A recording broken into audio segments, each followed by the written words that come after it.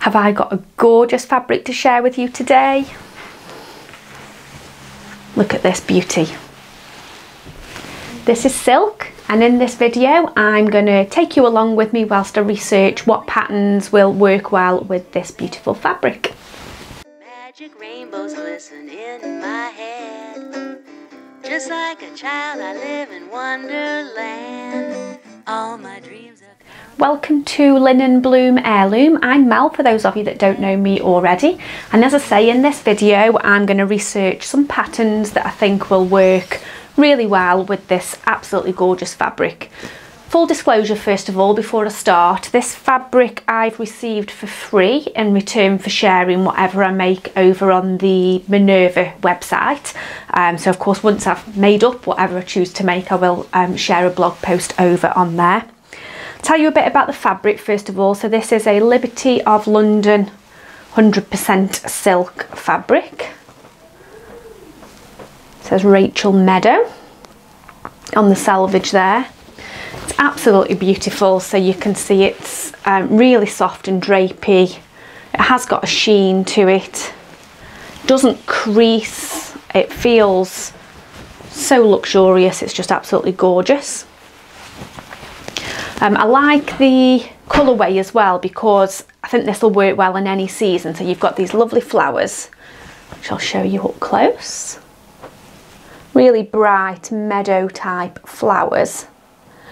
But they're set on this black background so I think that will mean that you can wear this fabric in any season um, which is which is perfect. I've, I've, I've really um, been enjoying making clothes that I can layer up during the autumn and winter and then also wear in the spring and summer. Just think you get so much more wear out of the clothes that we've spent hours and hours and hours and hours making so I really wanted to take my time um, with this project because it's such a precious fabric and I didn't want to rush into making something without researching what is the right pattern for the fabric.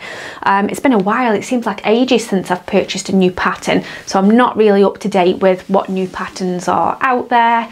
So what I thought I would do is um, record um, some patterns that I find that I think will work well with this silk fabric to share them with you. Um, if of course you've um, worked with a perfect pattern and silk combination or maybe silk kind of fabric like a rayon or something like that um, then uh, do do leave a comment to let me know which um, fabrics you think uh, sorry which patterns you think would be ideal as well um, but yeah I thought it'd be a good opportunity to get out there look what patterns have come out um, and share those with you so let me just show you this fabric in more detail before we head over to the patterns. Just to kind of try and show you how soft and light it is.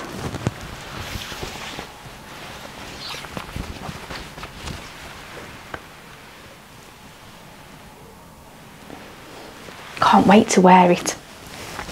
Okay, so um, lengthwise I've got 2.7 meters of this fabric and the width I can't quite remember what the width is. I think it's 138 or something like that. I'll put some text in if that's wrong.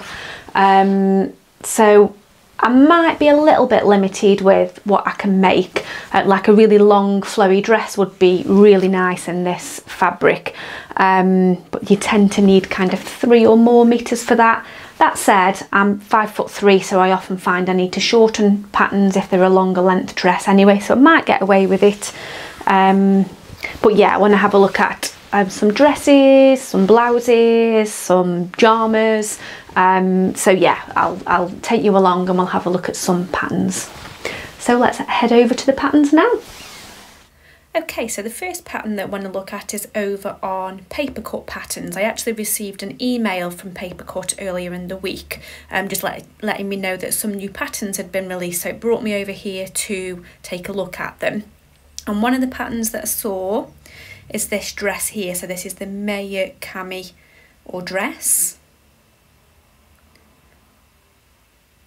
Now this is a bias cut dress which will be great for silk because that'll feel really comfortable and really luxurious to wear. What I like about this is you've got the um, bust pieces.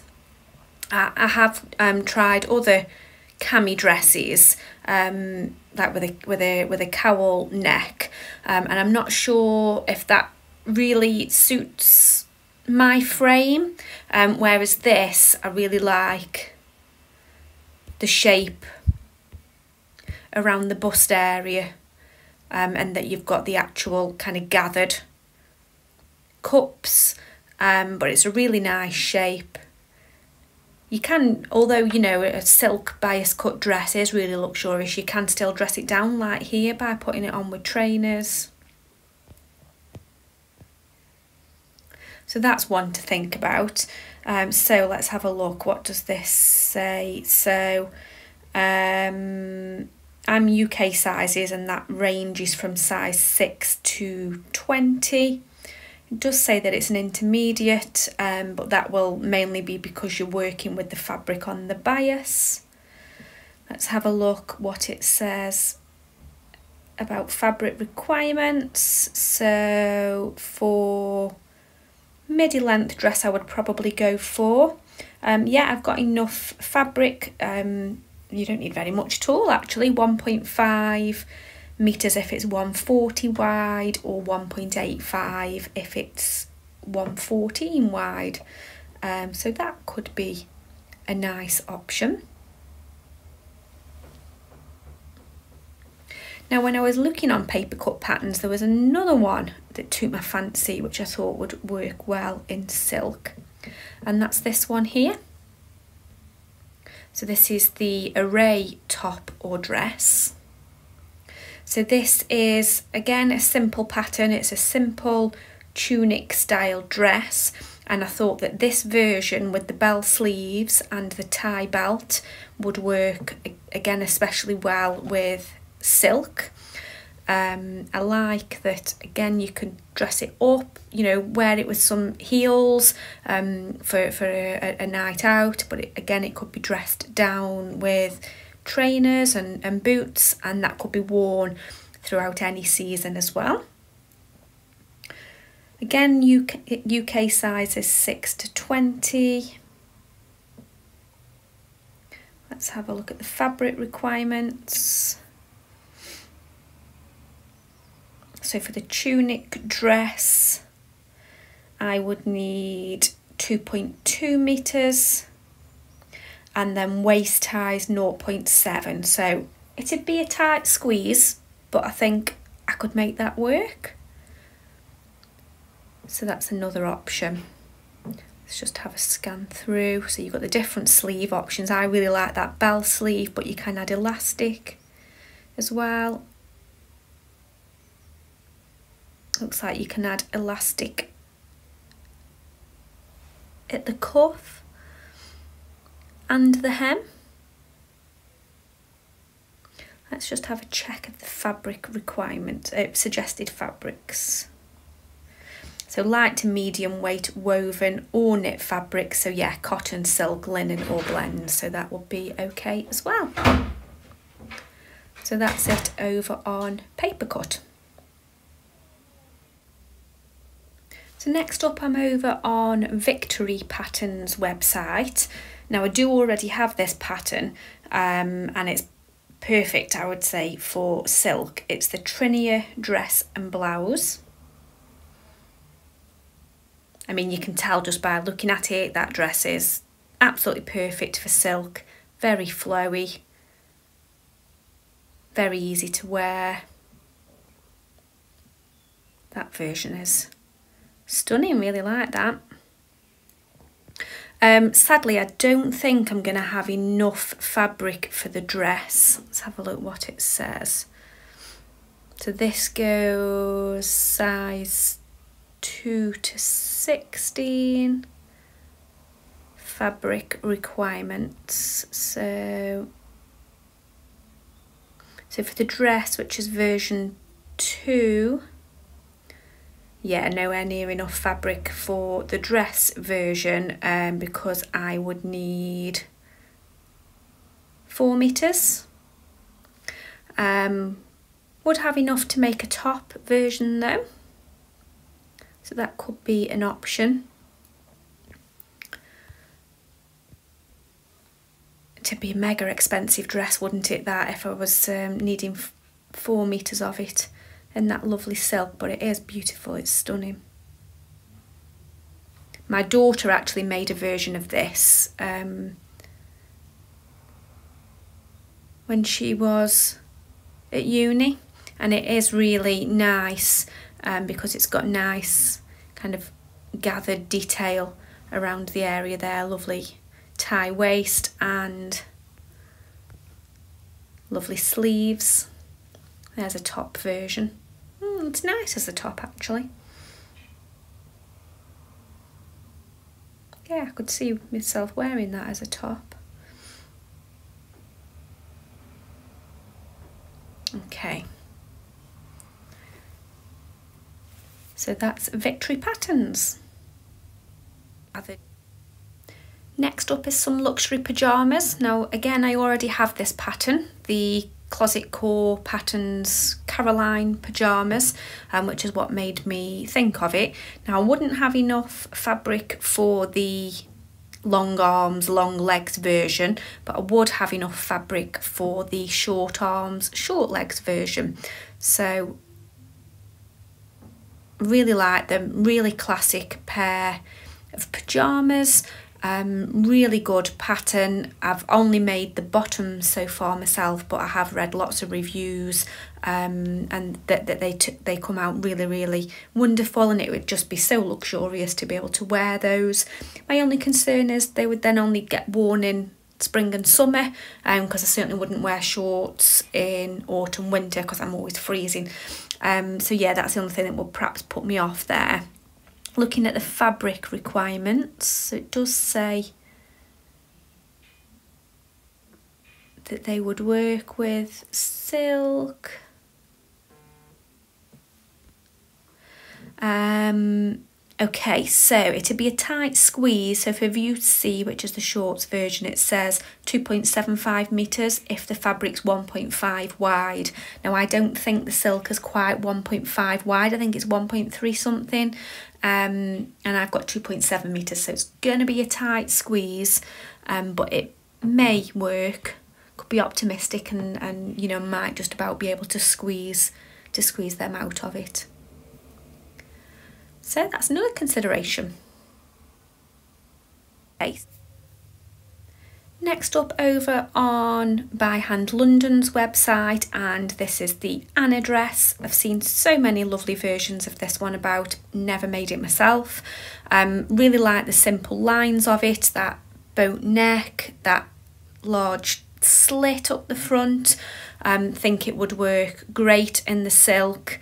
Let's just go back and zoom in. I think looking at that version, um, just helps me to envisage how well and how beautiful it would be in the silk. Now, fabric requirements wise, on paper I wouldn't have enough.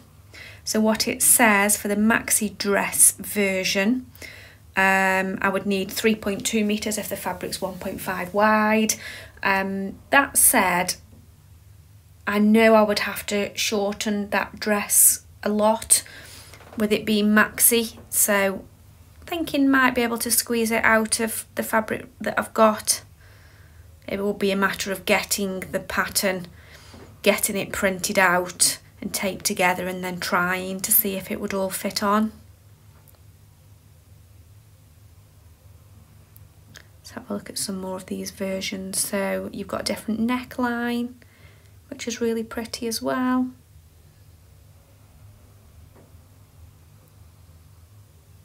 So you could, I could make a shorter version, but I think if I was going to make this out of silk, it would need to be the maxi length really. So it would be, fingers crossed that there would be enough fabric there. So that's the By Hand London Anna. I'm now over on Pauline Alice's website and this is the Coeli blouse, probably not saying that right, um, but it's a loose smock type blouse um, but with some really um, unusual details. So let's just show you through the pictures. They're not the best pictures for seeing the actual design but you can see from the back there um, they, they've got ties for black for back closures. It's got a high collar, it's got beautiful sleeve details and a gathered, it's got a yoke um, with a gathered bodice. That's better, you can see the actual top funny angles to show the top on the other pictures. Um, so yeah, again, I thought that would be really nice in silk because the gathers would work really well, the pleats would work really well. I like the sleeves. That's what it's like on the line drawing.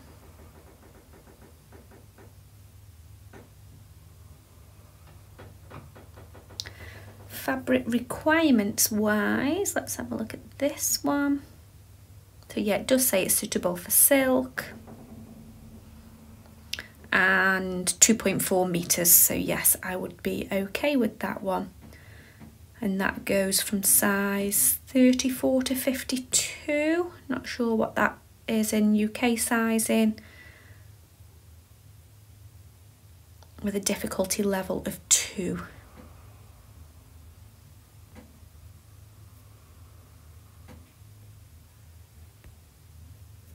yeah, so that's another option.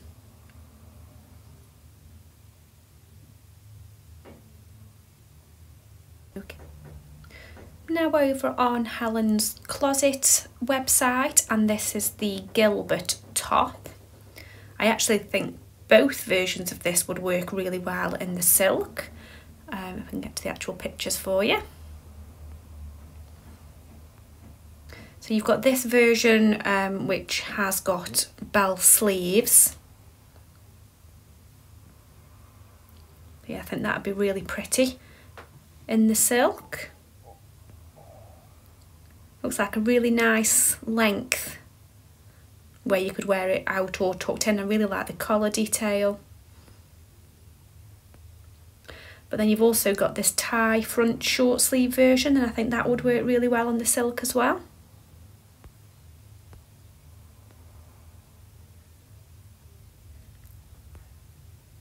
Really like how Helen's got it styled there as well with a midi length skirt. Yeah, I think that would be really pretty as well. So yeah, it does say that the pattern is suitable for silk. And let's have a look at how much fabric I would need. Here we go, that took some finding. So if I went for the short sleeved version, um, yeah, between 1.3 and 1.9 metres, oh no, sorry, between 1.2 and 1.7 metres, so that would be fine. The longer sleeve version would also be fine, between 1.6 to 2.2 for my size range. So I could consider either of those.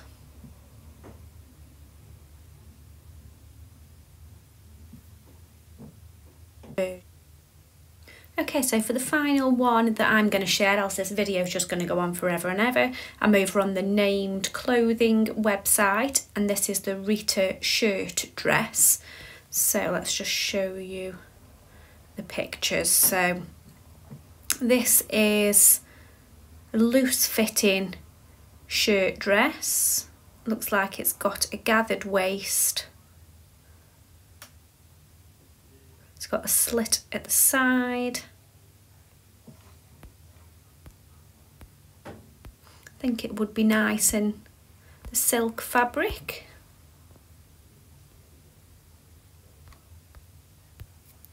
Let's have a look closer.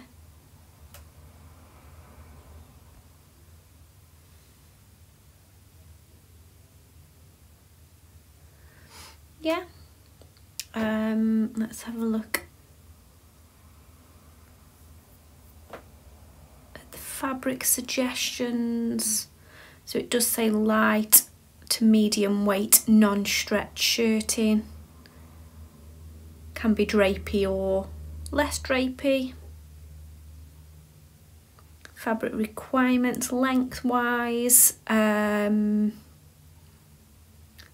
so yeah, it looks like I'd need 2.4 to 2.55 meters. So that would be okay. I like that. The only thing I'm not sure of is that waist. I'm not sure if it if it's just a drawstring. Uh, looks like it perhaps is. Not sure how keen I am on a drawstring waist, but I could adapt it. Maybe.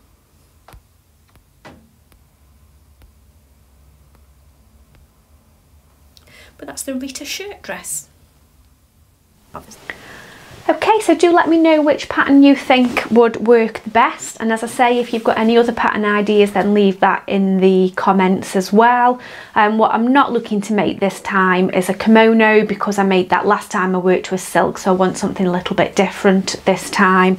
Um, but anything else, I'm open to suggestions. Hope that you found this video useful. If you did, then do give it a thumbs up.